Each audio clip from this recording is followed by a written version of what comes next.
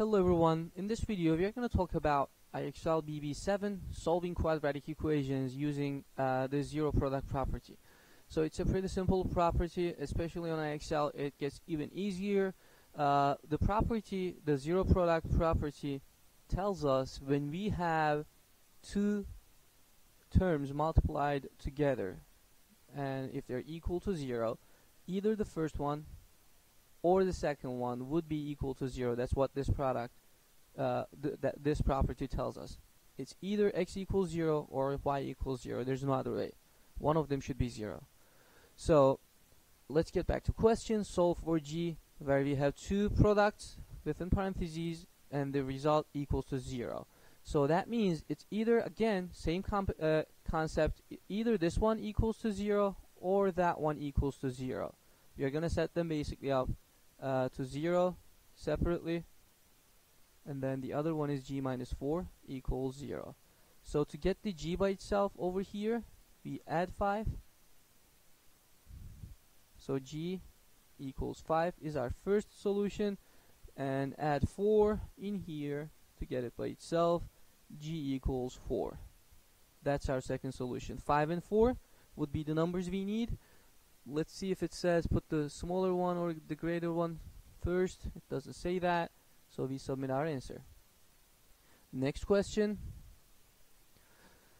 This one here either the first one equals to 0 or the second one. So if n minus 1 is 0 by adding 1 because I have minus 1 the first solution would be 1 the second equation is n plus 3 equals 0 and then just solve it. What you need for this to be 0, if n is negative 3, when you plug it in, it is going to be equal to 0. So 1 and negative 3 are the answers for this question. Now,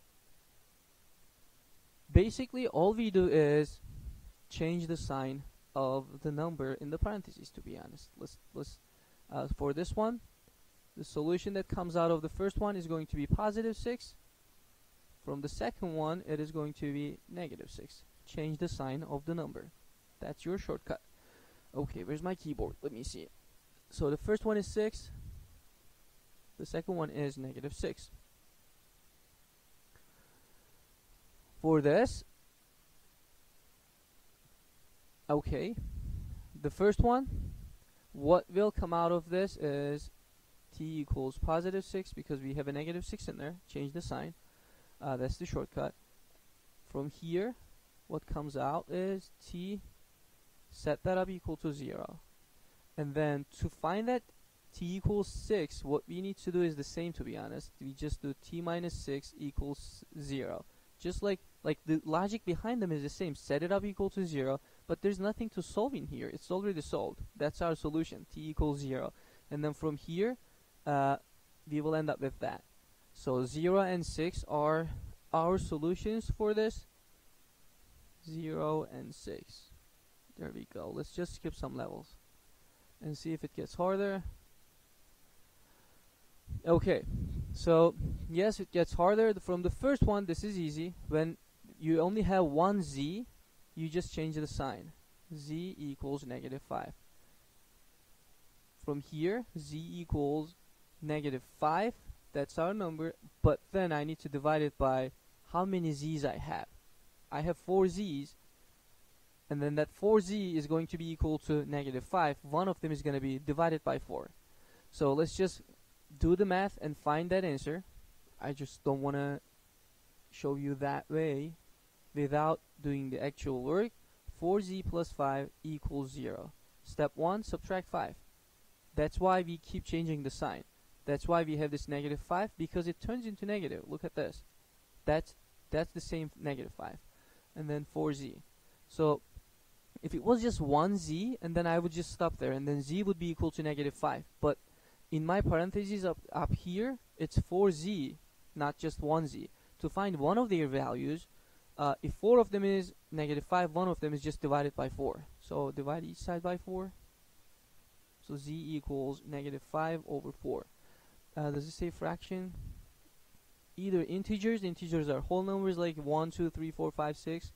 and then uh, also negatives. Negative 1 negative 2 negative 11 0 is included to integers uh, or proper or improper fractions. So fractions are fine. The, we cannot put decimals. Don't put decimals in there according to the instructions. Uh, yeah that's it. Z equals negative 5 z equals negative 5 over 4 and then to get to this result all you do is z plus 5 equals 0 subtract 5 and then z oops. Now I just moved the page. Let's see if I can take it back. Oh my whatever. So these will be cancelled out and then z equals negative 5 that's how you get it and let's just skip one more level and see if it gets even harder. No not at all. Let me see what happens in the next level. Nothing happens. It's the same thing. The question the numbers are the same too. Uh let's see. Okay and then let's let's do this one too. Uh okay. Because this looks different at least so set this up equal to 0 and then set that up equal to 0 negative 9 plus 5 oh negative 9 m plus 5